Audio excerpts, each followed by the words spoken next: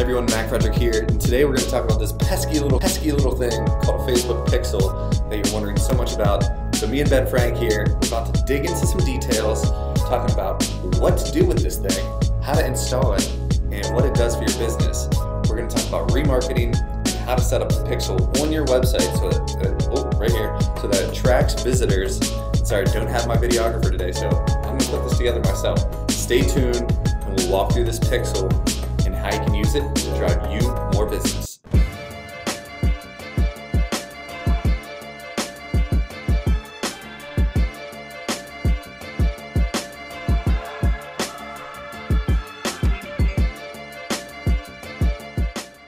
Right, all right, all right. So a couple things. We're gonna jump into this blog. If you don't want to watch me, because I might be annoying to you, um, I'm getting text right now.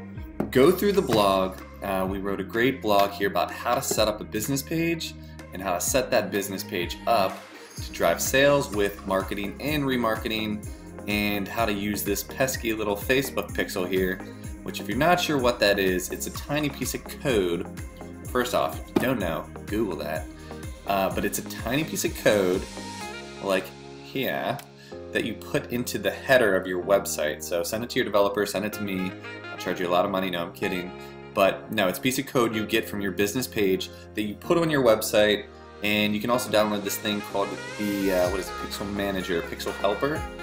Uh, so for the example we'll use today, uh, I would say we'd use my other business phone repair Philly. We've got that set up with the Pixel but we're going to use um, another company or brand I just made for the sake of this, iPad Repair Philly. Brainbuster there, which does not have the Pixel. Bum, bum, bum. We will set this up with Pixel today. So, if you follow through and read this article, or uh, you can watch me annoyingly, painstakingly take you through this video, which I will, like it or not, I will take you through this video showing you how to do this um, and I'm going to be using, or go over here, uh, right here is the Facebook business page, iPad Repair Philly that we set up. If you don't know how to set up a Facebook page, also Google it. Very easy. I probably have another video out there. Um, how to create a Facebook page. Bam. Eight simple steps. Hootsuite. Well, we should rank above Hootsuite. Uh, we'll make another video for that. Here's the website. Here's the back end.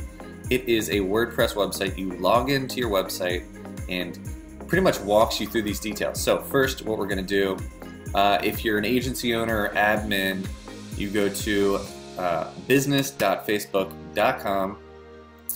Uh, we're going to go to the business settings from here and choose the account, Momentum's agency account. Uh, we want to access a page and an ad account. So I'm going to add a page. Go figure. iPad Repair Philly, we're going to claim this bad boy right here. Pretty sure it's going to send me some sort of access request. Uh, I'm already an admin. Bam. Automatically approved. Lucky day. Um, I have admin access, and you can create an ad account out of it. So you would just uh, create a new ad account, and we'll call this iPad Repair Philly. Uh, select payment method, add payment method later, create ad account. Next, we're going to want to create this pesky little pixel we're talking about, and I'll annoyingly add some people for my team. Sarah helped me write this article. Um, so, to get the pixel onto the website so that it shows that you have the pixel on the website to do remarketing. So let's say you run an initial ad or campaign and somebody lands on this page. How high do I look here? That's funny. Um, but I don't convert or I don't do anything. I don't call, I don't get a quote.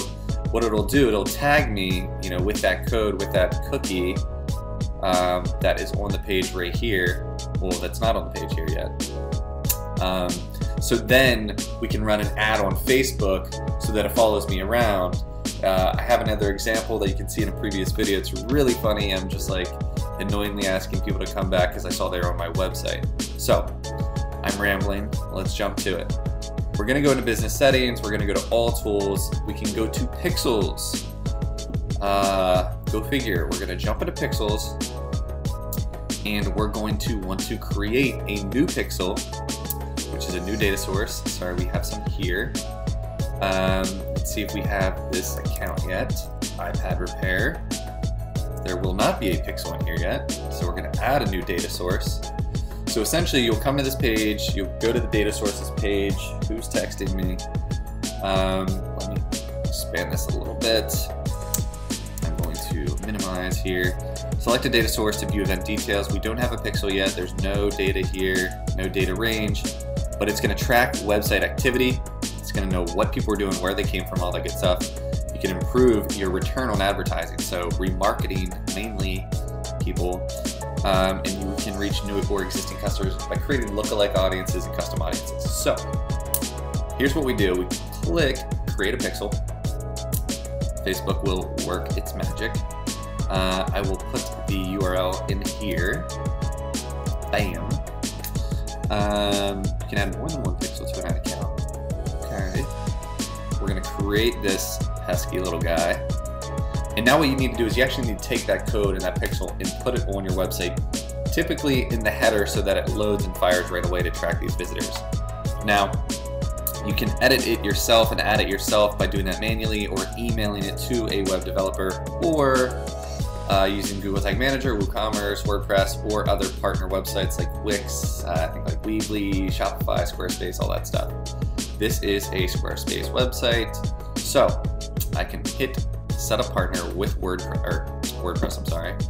We're gonna go in here. The integration is supported for WordPress, 4.4 and above. I can download the pixel, so I'll download that, and then you can upload the pixel to the website. So I'm gonna hit continue. It's to walk me through this. Log in your WordPress account, go to your dashboards, and go to plugins and hit add new. All right, log in, dashboard, scroll down, plugins, add new. So far, so good. Uh, now what? Facebook, tell me. Choose file. Say no more. Click upload plugin. Sorry, I'm like squinting here. Uh, choose file and select the Facebook pixel. That one right there. Boom. Right down here in the corner. Alright, I can do that. Upload. File. I do have a file. Thank you. Is it this guy? I need to download from the zip first. I don't remember. No, I do not. So, now we're going to install that.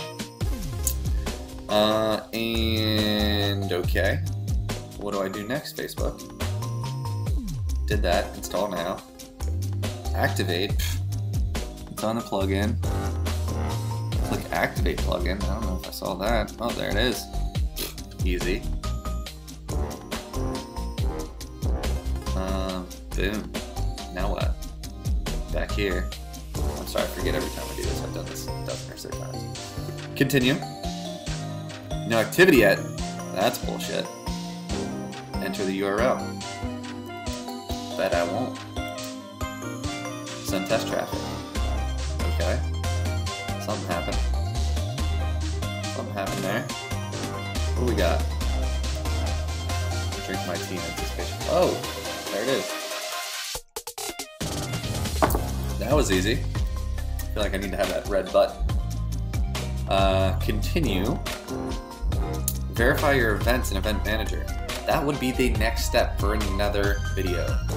Uh, or you can create an ad, or you can see Facebook Analytics, but therein lies the process of setting up a business page, setting up the ad account, getting the data source, creating the Facebook pixel, installing it on the WordPress website, verifying it, and then from there you can do other things that we'll talk about in other episodes.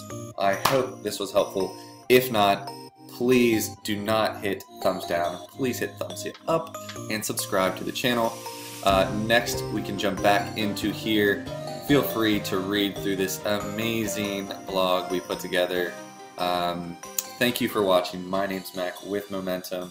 Uh, we will upload this to the website. We will upload this video to YouTube. Smash that like button, hit subscribe, and we'll see you next time for another episode of Momentum Mondays. Stay tuned, have fun, and uh, have a drink for me.